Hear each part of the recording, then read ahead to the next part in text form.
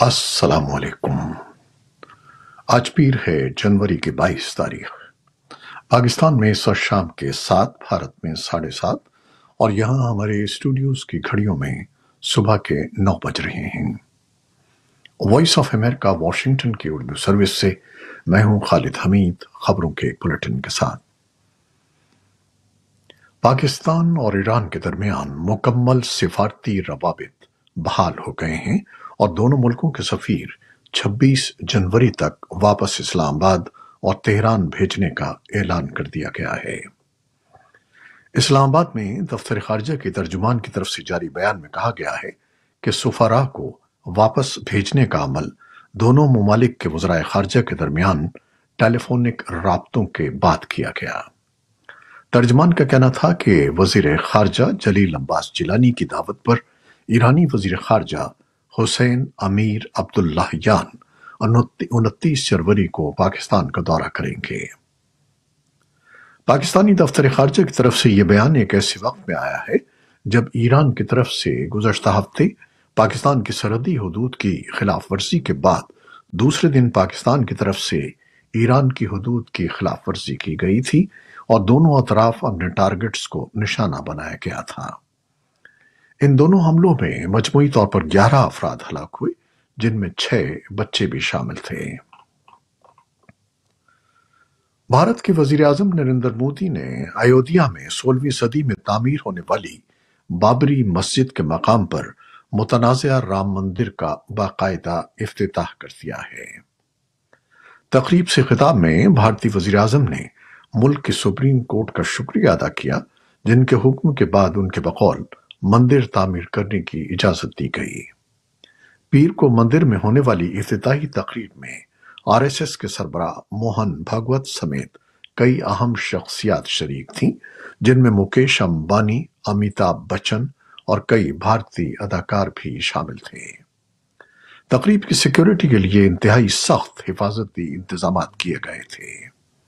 ये तकरीब भारत के पार्लिमानी इंतबात से तीन का माह कबल मुनद की गई है और हिंदू कौम पर जमातों की तरफ़ से हिंदू मज़हब के मुकदस मकाम को दोबारा हासिल करने की उस मुहिम का हिस्सा है जो उनके दावे के मुताबिक मुगल बादशाहों के जमाने में उनसे छिन गए थे।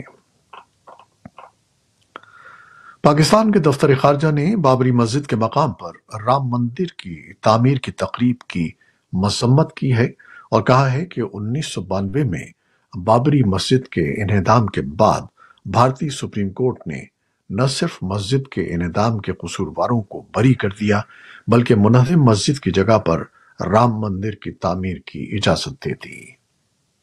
वाज रहे कि सोलहवीं सदी में इस मकाम पर बाबरी मस्जिद तामीर की गई थी। हिंदू तंजीमों ने दावा किया था कि मस्जिद की जगह असल में राम की पैदाइश है। उन्नीस सौ बानवे में एक हजूम ने बाबरी मस्जिद पर हमला करके उसे मुनहदिम कर दिया था। वाज रहे कि भारतीय सुप्रीम कोर्ट ने अपने फैसले में वाजह तौर पर लिखा था कि बाबरी मस्जिद के नीचे किसी मंदिर को तोड़कर मस्जिद की तामीर का कोई सबूत नहीं मिला है। अदालत ने बाबरी मस्जिद के इन्हदाम को आइन और कानून के मुनाफी करार देते हुए उसे एक जुर्म करार दिया था। अमरीकी रियासत फ्लोरिडा के गवर्नर रॉन डी सेंटिस ने इतवार को रिपब्लिकन पार्टी की सदारती नामजदगी हासिल करने की मुहिम खत्म करके अपने मद्दे मुकाबल सबक अमरीकी सदर डोनाल्ड ट्रंप की हिमायत का ऐलान कर दिया है।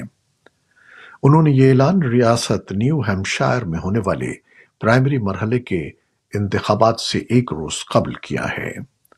रॉन डी सेंटिस ने कहा कि मुझ पर यह वाजह है कि रिपब्लिकन पार्टी के वोटर्स डोनाल्ड ट्रंप को एक और मौका देना चाहते हैं।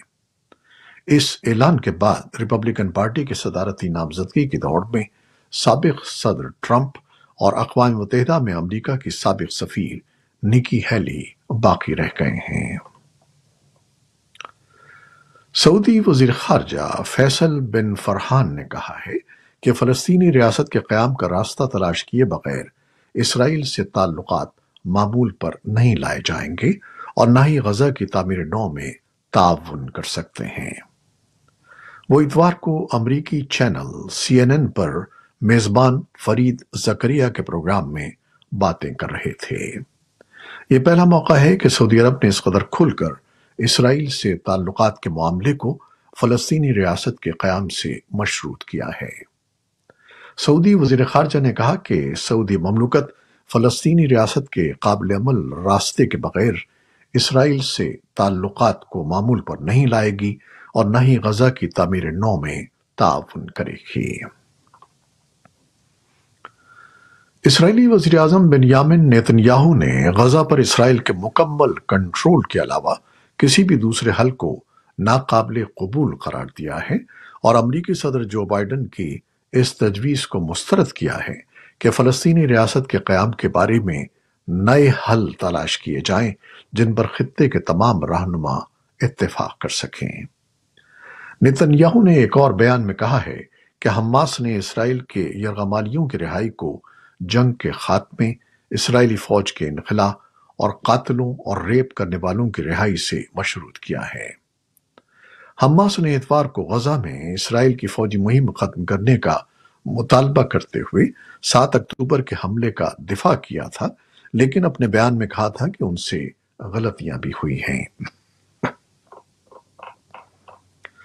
हमास के जेर इंतज़ाम गजा की वजारत के मुताबिक 106 दिन से जारी जंग में अब तक पच्चीस हज़ार एक सौ पाँच अफराद मौत का शिकार हो चुके हैं, जबकि बासठ हज़ार आठ सौ से जायद जख्मी हैं।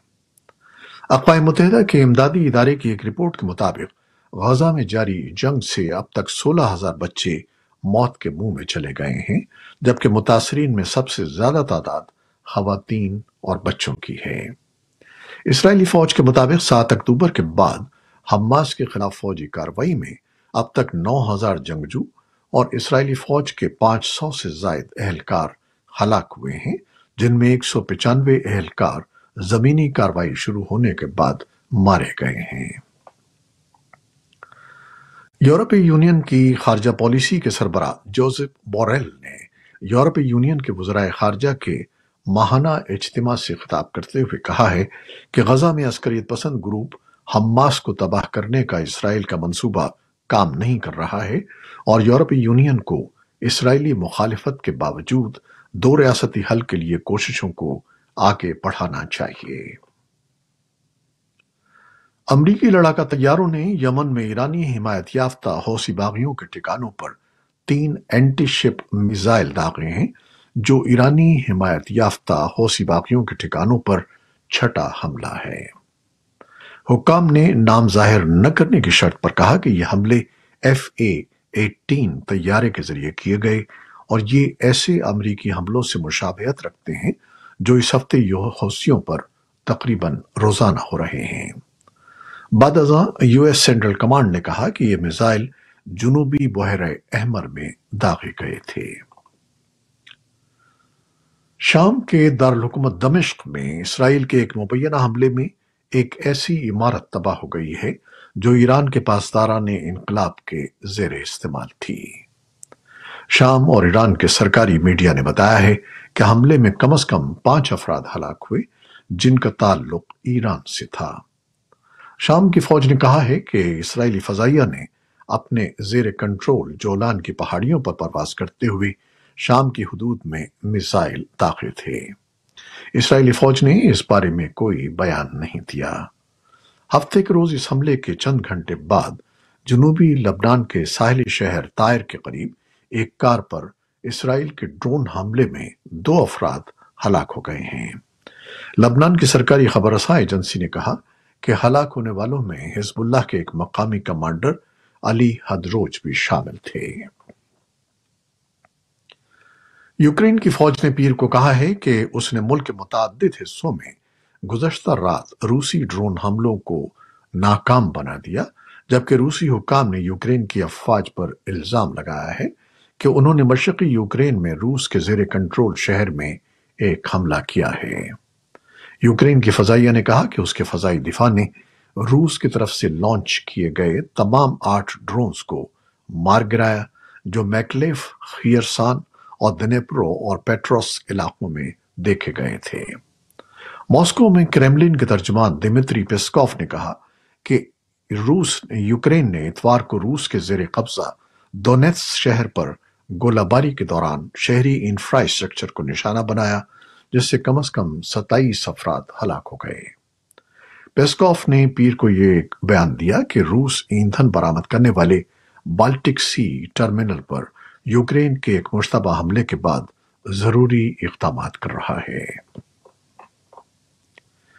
चीन के जुनूब मगरबी पहाड़ी सूबे यूनान में पीर के सुबह मिट्टी का तोदा गिरने से सैतालीस अफराद दब गए और 200 से जायद अफराद को नकल मकानी पर मजबूर होना पड़ा। ये वाक़ पीर की सुबह छह बजे से कबल सूबे यूनान के शिमल मशरकी गाँव लियांग शुई में पेश आया। मकामी इंतजामिया के मुताबिक मलबे तले दब जाने वाले 18 मकानों के रिहायशियों की तलाश के लिए इमदादी कोशिशें जारी हैं। लैंडस्लाइडिंग की फौरी वजह मालूम नहीं हो सकी। जाय वकवा से ली गई तस्वीर में ज़मीन पर बर्फ़ नज़र आ रही है। ये लैंडस्लाइडिंग चीन के शिमाल मगरब में आने वाले बरसों में आने वाले सबसे ताकतवर जलजिले के सिर्फ़ एक माह बाद हुई है। एक्वेडोर की सिक्योरिटी फोर्सेस ने जुनूब मगरबी सूबे गयास के कस्बे में एक अस्पताल पर कब्जे की कोशिश करने वाले गैंग के अड़सठ अरकान को हिरासत में ले लिया है। पुलिस के मुताबिक दर्जनों मुसल्ला अफराद ने इतवार को अपने एक जख्मी साथी को लेकर अस्पताल दाखिल हुए थे, जो बाद में दम तोड़ गया। एक्वेडोर के सदर डैनियल नोबोआ की हुकूमत ने 22 मुसल्ला गैंग्स के खिलाफ जंग का ऐलान कर रखा है। एक्वेडोर में हालिया दिनों में तशद में इजाफे का सबब मुनशियात के सरगना फेतू के जेल से फरार होने से शुरू हुआ था। ये थी वो खबरें जो फेसबुक लाइव पर हमने आपके लिए पेश की। हमारी वेबसाइट यूट्यूब और पॉडकास्ट पर यह बुलेटिन आपके लिए पोस्ट कर दिया जाता है। आप हमारे बुलेटिन को शेयर करते हैं और अपने कमेंट्स में अपनी मोहब्बतों का इजहार करते हैं, जिसके लिए हम आपके बेहद ममनून हैं। अपनी इन काविशों को जारी रखिएगा। न्यूज़ प्रोड्यूसर सैयद असफर इमाम और न्यूज़ एडिटर ताबिंदा नईम के हमरा खालिद हमीद को भी इजाज़त दीजिएगा। अल्लाह हाफिज़।